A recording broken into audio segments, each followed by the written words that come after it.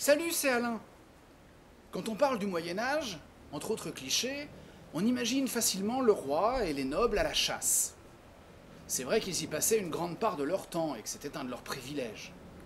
D'ailleurs, beaucoup d'illustrations en font état, les montrant à cheval, les pieux à la main, entourés de leurs chiens. Et parmi les chiens, justement, qui avaient la faveur des puissants, il en est un qui se voit peu de nos jours, le lévrier irlandais ou Irish Wolfhound.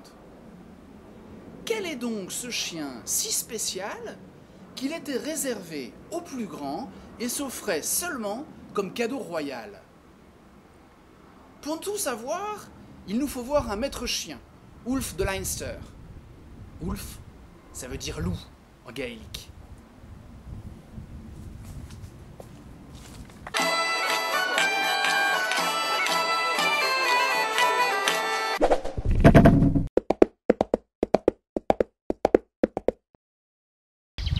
Salut Ulf Bonjour.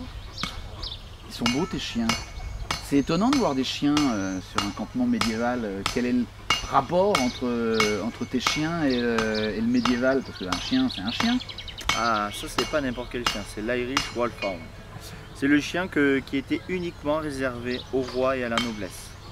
Chien de, chien, de, chien de chasse par excellence, avec lequel on chassait le loup principalement, mais également le cerf et l'ours. Il faut savoir que ces chiens-là, leur première trace écrite remonte à 500 ans avant Jésus-Christ, mais on en parle beaucoup au Moyen Âge parce que c'était vraiment le chien par excellence de la noblesse. C'était vraiment un signe de richesse et de puissance. C'est pas pour rien qu'à la fin du Moyen Âge, justement, l'Irlande a interdit son exportation parce que malheureusement, ça devenait un petit peu n'importe quoi au niveau de la noblesse internationale et l'Irlande trouvait ça totalement dommage de gâcher justement cette noble race par sa popularité et non par son efficacité. C'est pas, pas un chien de salon. Absolument pas. C'est vraiment pas un chien de salon. C'est pas pour rien que d'ailleurs euh, c'était les chiens qui protégeaient les trônes.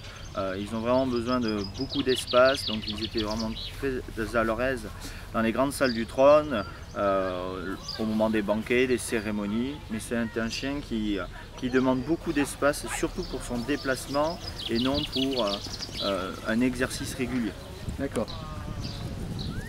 Alors, c'est un très beau chien, mais il y en a d'autres des très beaux chiens. Pourquoi, pourquoi ce chien-là euh, serait devenu le chien des rois Il est efficace à la chasse, il chasse les loups, mais à la limite, les loups, c'est plus intéressant dans les villages que dans un, que dans un château.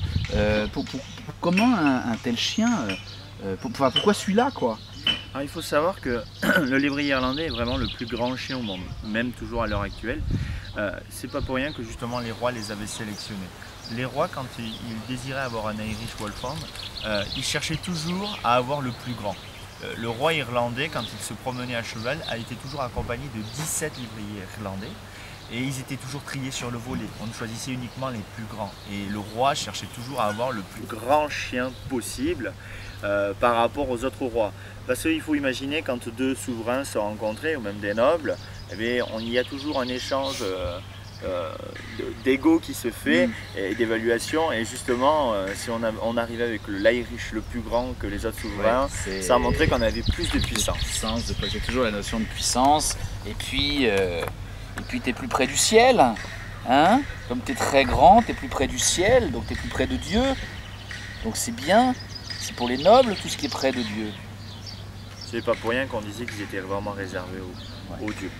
C'était vraiment ce symbole de bah, proche de Dieu, euh, donc c'était, ça ne pouvait être que réservé rois. Absolument.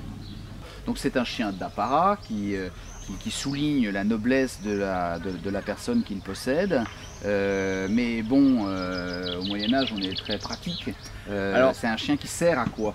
Tout à fait, on est très, pratique. En fait, c'était vraiment le, le chien de chasse de référence pour plusieurs raisons. La première, c'est que euh, c'est un chien qui est tellement volumineux que psychologiquement, dans sa tête, il ne craint rien. C'est pour ça que facilement, il allait attaquer en meute euh, des loups, des ours. Et la noblesse pouvait se permettre d'accompagner le chien lors de son action de chasse à cheval Et donc euh, il y avait un côté prestigieux pour la noblesse d'aller jusqu'à la mise à mort de l'animal euh, avec leur chien. C'était vraiment un acte qui était fait en commun et en, très grande complicité. Ce n'est pas pour rien que, que l'Irish Wolfhound, qu'on appelle en France le lévrier irlandais, était vraiment un chien très fidèle, très loyal. On disait autrefois au Moyen Âge qu'ils étaient seulement dignes des dieux et des héros. C'est pour ça d'ailleurs que ils étaient uniquement réservés à la noblesse par rapport au lien avec, euh, avec Dieu. Très bien. Alors l'évrier, c'est un chien pour chasser le lièvre. Là, euh, tu dis que ça chasse le loup, euh, il y a une petite marge quand même. Comment on est arrivé du lièvre au loup? Alors en fait on est arrivé du lièvre au loup pour la simple unique raison c'est que nos amis irlandais lors de leur périple avant le Moyen Âge ils ont pu côtoyer de nombreux chiens dont des lévriers orientaux euh, le principal qu'on appelle un sloogie, qui est un grand lévrier, spécialiste justement de la chasse aux lièvres.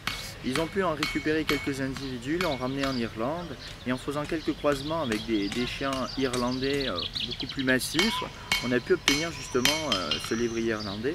On s'est vite rendu compte que de par sa taille, la chasse aux lièvres n'était pas appropriée à ce chien-là. Malheureusement, le lièvre, avec ses changements de direction brutales, euh, il ne pouvait pas, l'Irish, suivre justement ces changements. Trop massif et... Euh, trop massif et trop puissant.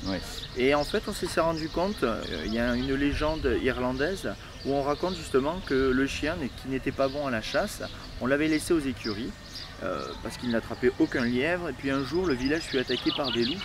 Et c'est le chien qui, qui, justement a sauvé le village de cette attaque. Et depuis, euh, depuis ce temps-là, justement, euh, l'Irish reste vraiment un emblème euh, de défense contre le loup. C'est pas pour rien que dans les, îles britanniques, justement, on raconte qu'à la fin du Moyen Âge, quand le loup a failli disparaître, la cause principale, c'est l'Irish Wolfhound, tout simplement. D'accord. Alors, aujourd'hui, ces chiens sont, sont, magnifiques et sont d'autant plus étonnants qu'on n'a pas l'habitude de les voir c'est des, rois et des nobles euh, du Moyen Âge, on est passé à pas l'extinction, mais... Euh, c'est vrai qu'on a malheureusement, après la Renaissance, on a vraiment failli perdre ce chien-là, qui est quand même un chien magnifique et exceptionnel. Euh, malheureusement parce qu'il n'avait plus d'utilité. Autrefois, on cherchait vraiment l'utilité par rapport à l'animal. N'ayant plus de loup à chasser, on n'avait plus d'utilité à l'avoir, donc on a arrêté de le reproduire et malheureusement on a failli le perdre. On a réussi à le conserver et à conserver la race grâce à une personne, le capitaine Augustus Graham, qui en 1800 a fait tout son possible pour justement sauver la race. À cette époque-là, il nous restait à peu près que 20 individus euh, sur la planète. Donc ça a été vraiment un travail euh, de longues années, euh, très acharné. Et c'est 60 ans plus tard où on a réussi à sauvegarder cette race. D'accord. À l'heure actuelle, euh, ce chien est vraiment protégé et sauvegardé par déjà d'une une association internationale du lévrier irlandais qui vraiment fait tous les efforts possibles pour que justement la, disparition de cette race n'arrive plus. Et ensuite, en France, en France pardon, nous avons euh, le rallye qui réunit tous les éleveurs français dont je fais partie, où mon but est de promouvoir la race au grand public, mais surtout de la faire connaître. C'est un chien qui est très emblématique du Moyen Âge, qui a été vraiment un signe de puissance. On peut le retrouver dans de célèbres tapisseries comme celle de Bayeux, on peut le retrouver sur les premiers mètres. Il a été représenté partout, mais c'est un chien qui malheureusement, on ne parle pas par méconnaissance de la race. Et ben, voilà qui est fait, maintenant on en parle.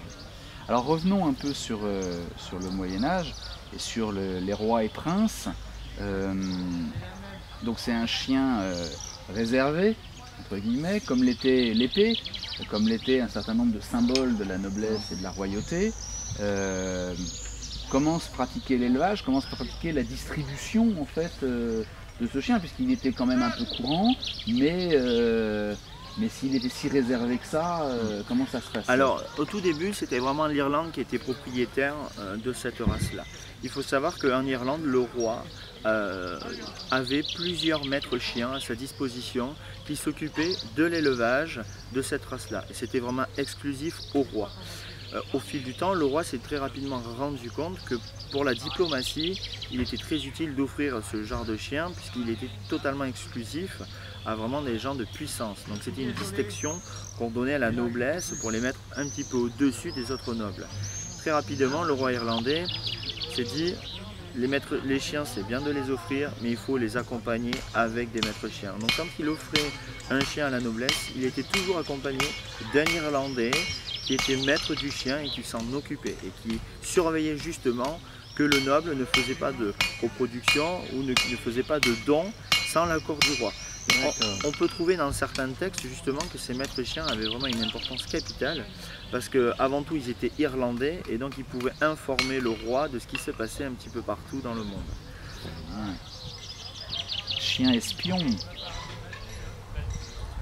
Chien espion parce qu'il faut savoir qu'avant tout, euh, au Moyen Âge, en plus d'être un chien de chasse, c'était le confident proche du roi. Généralement, euh, les rois et reines ne faisaient confiance uniquement à leurs chiens, leur Irish. Il faut savoir que par exemple, à l'heure actuelle, la reine d'Angleterre a gardé cette tradition. Elle a toujours à Buckingham Palace un Irish Wolfhound qui est l'emblème de sa garde personnelle, euh, qui est l'Irish Guard.